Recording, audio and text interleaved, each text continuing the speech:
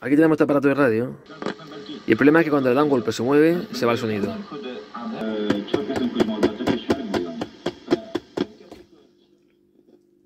Ya se ha ido el sonido. Ya se ha ido. Ya vuelve. Vale, vamos a mirar si es que la rectificadora no suministra voltaje o algo. He puesto la punta positiva en el filtro en pi y la negativa la he puesto en la masa. Y ahora voy a darle tensión a ver lo que pasa. Ahora está sonando, ¿ves? Y el tester marca 98 voltios. Ahora hay que dar los golpes para que se vaya el sonido, ¿vale? A ver si baja. A ver si baja el voltaje.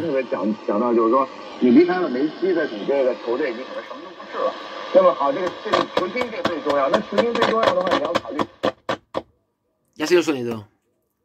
Y el voltaje no se ha ido. La lámpara se apaga un poco, pero el voltaje sigue entrando.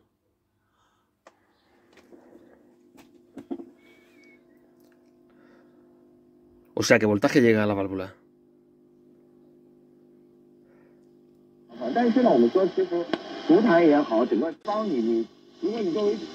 Saco el pentodo y lo vuelvo a colocar. No es una falsa conexión del, del, del pentodo, ¿eh? Es otra cosa. Esto es problema de filamento. Ahora estoy con los filamentos, ¿ves? Mira, los filamentos se han puesto a 110 voltios. Eso que se ha abierto un filamento por ahí. Yo diría que se ha abierto de la rectificadora. Es decir, el, el filamento de la rectificadora se desconecta, ¿no? Y al desconectar el filamento de la rectificadora, aparece aquí todo el voltaje de la red. Pues este tipo de averías son muy difíciles de encontrar porque yo estoy midiendo tensión alterna en los filamentos. Los filamentos van en serie. Cada válvula toma su, su porción de, del pastel, ¿no? Y a la rectificadora le tocan 26,6 voltios. Este es el voltaje de la rectificadora, como digo, ¿eh? Le voy golpes, ¿eh? Mira, ¿ves? Se apaga porque le está cayendo todo el voltaje a la rectificadora. ¿Por qué le cae todo el voltaje a la rectificadora? Pues eso es muy fácil de explicar.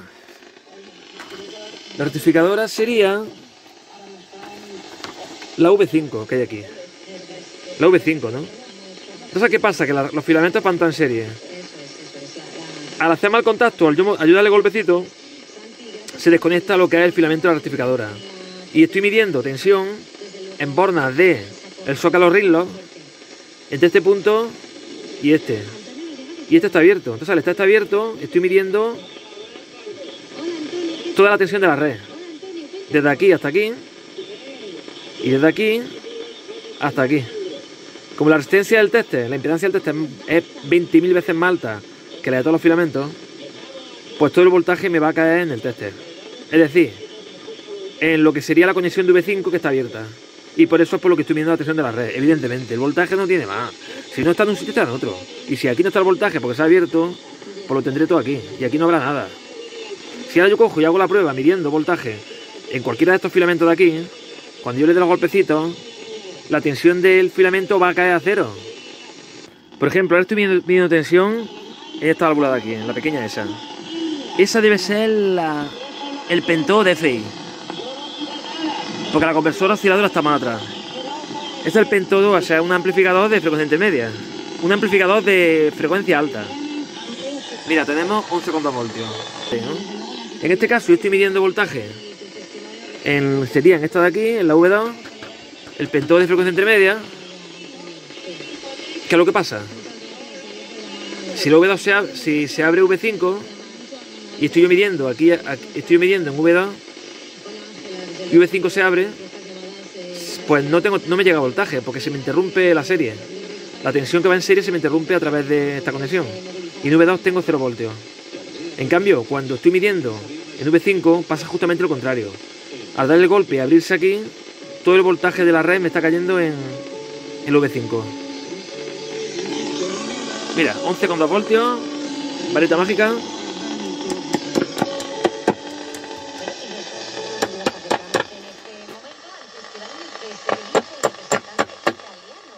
¿Has visto? 0 voltios, ¿eh? No me he equivocado, ¿eh? Es que hay una cosa que te despista, ¿sabes? Y es la lámpara del dial. La lámpara del dial te despista por una, por una sencilla razón.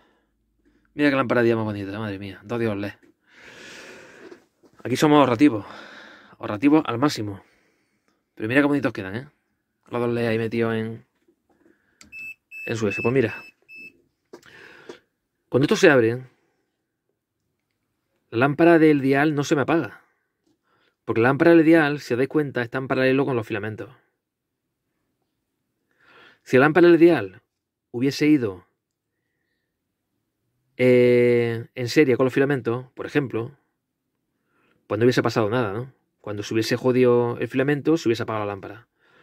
Pero lo que sí que es verdad es que cuando yo toco aquí, que se va, que se abre el circuito, queda el circuito abierto, la lámpara está como a lucir con un poquito más intensidad o con menos intensidad. Es muy poco, casi no se nota, ¿no? Entonces esto te despista. Y ahora me estoy fijando, claro, que aquí el problema que hay es que los filamentos se abren por la rectificadora.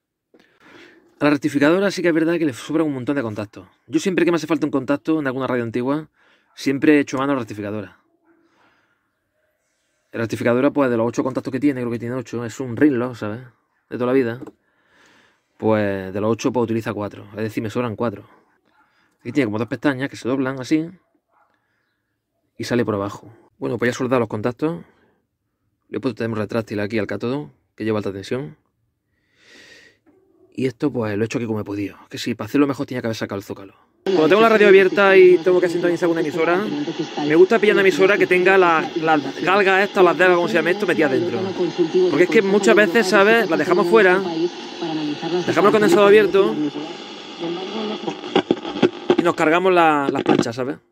Acabo de limpiar las puntas, las patillas de la válvula, que estaban limpias aparentemente, porque ya la había limpiado antes. La he vuelto a limpiar y ya mira, entre cambiar los pines y eso, ya nada. ¿Y qué más sabemos de ello? Buenas tardes, pues... Esta hembrilla me la guardaré, pues según se me hacen falta para reemplazar algún rillo de estos, pues los tengo ahí, ¿sabes? Porque realmente están bien, no están quemando ni están nada.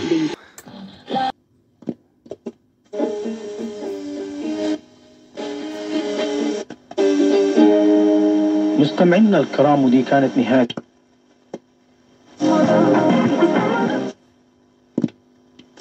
La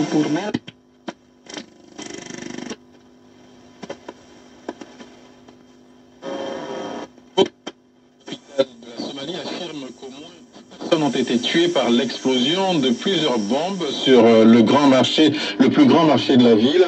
De nombreuses autres personnes ont été blessées. L'identité des responsables n'a pas été précisée dans l'immédiat, mais le groupe militant islamiste Al-Shabaab commet fréquemment des attentats la bombe en Somalie.